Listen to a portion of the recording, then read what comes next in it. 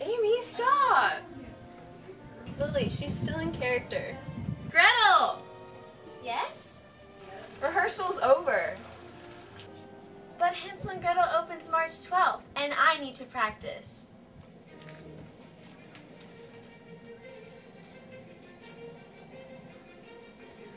Get her, Eric.